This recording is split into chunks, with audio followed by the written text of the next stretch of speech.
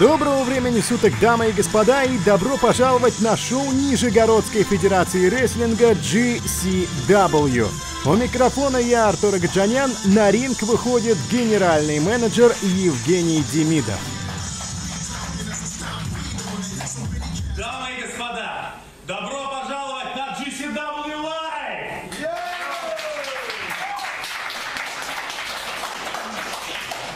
И сегодня я не назначать бои. Да, не буду принимать судьбоносных решений и не буду утомлять вас своей болтовней. Сегодня я хочу почувствовать себя в шкуре настоящего фаната рестлинга и наконец посмотреть это шоу из зала рядом с вами, ребят. Ну что, Дим, объявляй бойцов! Итак, господа, крайне простое и крайне приятное напутствие от генерального менеджера всем нам наслаждаться рестлингом. Итак, дорогие друзья, первым нас ждет матч один на один. И сейчас на ринге появится ростом 108 сантиметров, весом 78 килограмм из города Нижний Новгород. Это Роман Энглер! И первым из бойцов на арене появляется Роман Энглер. Человек э, с интересной судьбой в Горький Сити Рестлинг. Начинал он в федерации в роли помощника. Выполнял практически все функции, не связанные непосредственно с боями. Все, о чем его просили, он делал. Но на ринг его не допускали, так как не считали готовым до недавнего времени. С генеральным менеджером они сошлись на том, что если Роман Энглер выиграет три боя, тогда путь в федерацию в качестве бойца ему будет открыт. Его оппонентом в этом матче будет ростом 187 сантиметров, весом 90 килограмм. Из города Нижний Новгород это Вышибала Вадим Багров! А вот с оппонентом Романа Энглерта Вадимом Багровым все гораздо проще. Он работает вышибалой в местном нижегородском баре. Бить людей ему не привыкать. И почему бы не делать это за деньги? Почему бы это не делать на ринге? Почему бы это не делать на публике? И, конечно же, очевидный выбор — это Горький Сити Рестлинг. И сегодня у него задача точно такая же, как на работе. Провести фейс-контроль. Выявить, подходит ли Роман Энглерт на роль профессионального рестлера. Между прочим, первый этап Роман Энглерт уже прошел. Он одолел не абы кого, а Эль Барачо, и это второй из трех боев для Романа.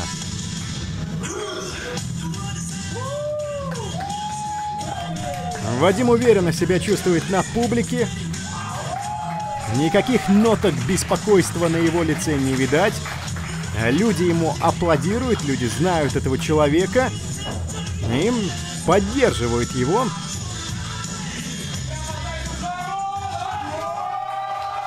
И посмотрите, как заводит толпу.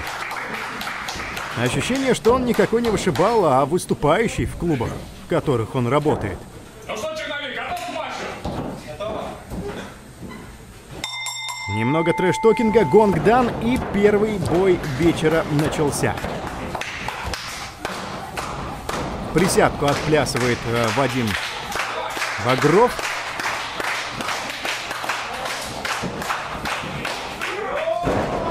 И посмотрите, как здорово он начинает этот матч. Тут же с броска. И дубль 2. Как э, проскандировал зал, как прокричал Вадим.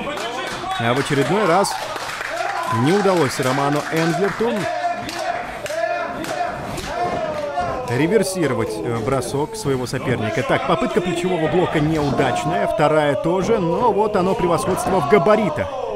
И начинает Вадим показывать, как это делается. Вот так, элементарно. Поставил руку, Шлагбаум провел, соперник на лопатка.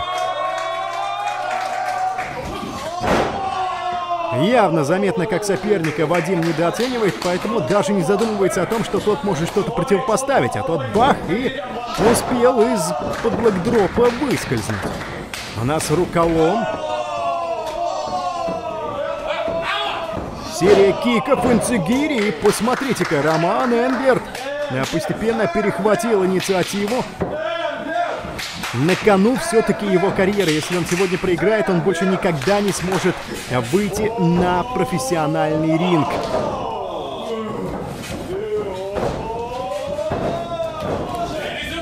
Активная публика поддерживает бойцов и снова берет быка за рога Вадим Багров.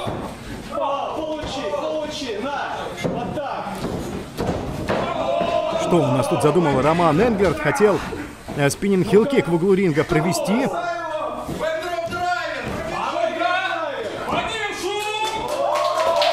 Просит Просит шума Вадим Багров, чтобы провести один из своих фирменных приемов backdrop driver.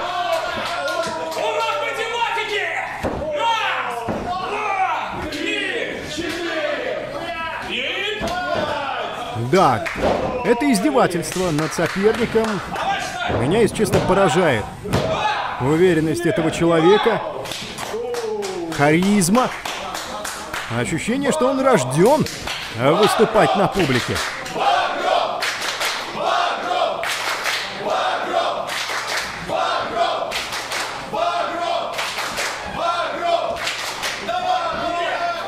Выход на суплекс от uh, Багрова.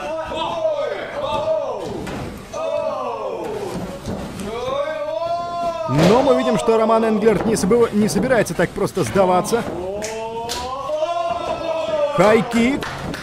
Прямо в голову и что? Сайд слэм. Два. Нет, а, вырывается Вадим а, Багров. И теперь ему не до выпендрежа. Роман Энглерт показывает себя крепким орешком и заставляет к себе относиться серьезнее. И посмотрите, готов убивать Роман Энглерт. Но не получается выйти у него на финальный прием и ожесточенно, со всей свирепостью уже нападает на него Вадим Багров. Простой вышибала с окраины. Таких ребят вы в своем дворе видите каждый день. Но от этого он не становится менее интересным. И посмотрите, что он вытворяет со своим соперником.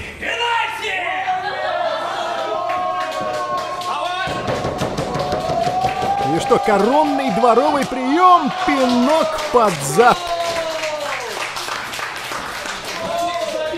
Уверен, что не впервой проводить такой прием Вадиму Багрову. И что, не может он никак до удержания довести Роман Энверта. Нужно, чтобы обе лопатки были на настиле ринга, но...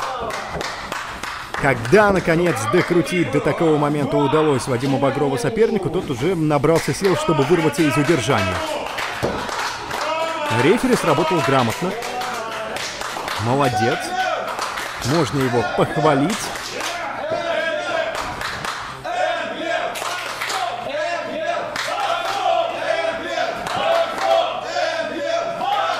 И публика разделилась на два лагеря. Половина болеет за Энглерта, половина для Бодрова. Сейчас в позиции для электрического стула находился Энглерт, но посмотрите, что он вытворяет! Свой коронный бэкдроп фейсбастер проводит Вадиму Багрову, и неужели это будет вторая победа к ряду? Раз, два, три, и это победа!